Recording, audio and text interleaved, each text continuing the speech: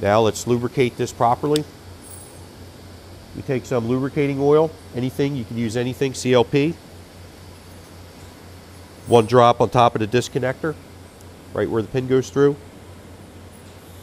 One drop next to the receiver walls, near where the hammer spring meets the receiver walls. You take your little vial of grease. You take a little pick, pull a little bit out. You put it on the inner and outer hooks of the hammer. Just a little bit.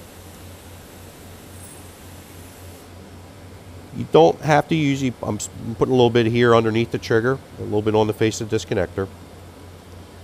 If you don't want to use grease, you don't have to. The sears do require a little bit of lubrication. I recommend using grease at the very least for break-in.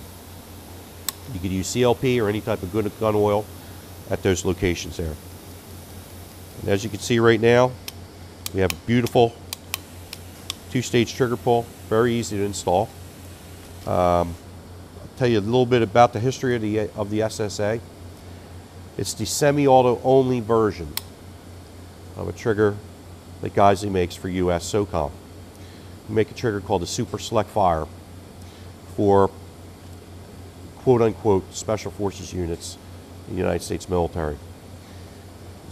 Different versions of the Super Select Fire or SSF that we make.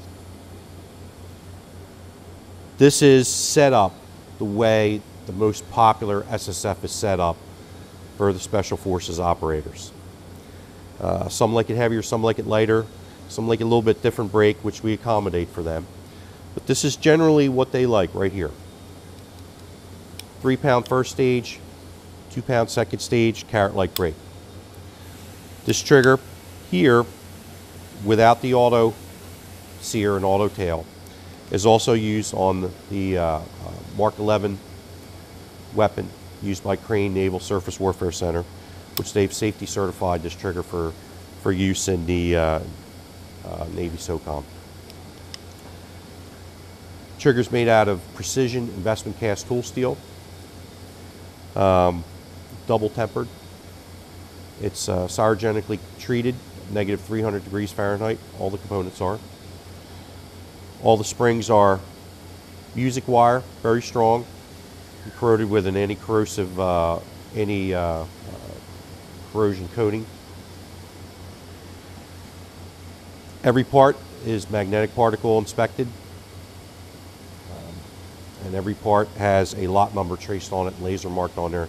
So we can trace this part back to every operation, whoever touches it, whoever assembles it, whoever puts the J-hook in, um, whoever mag particles it, we can trace it back to whoever does any work on it whatsoever in our shop. Total traceability. Uh, it's very reasonably priced, $170 for this trigger.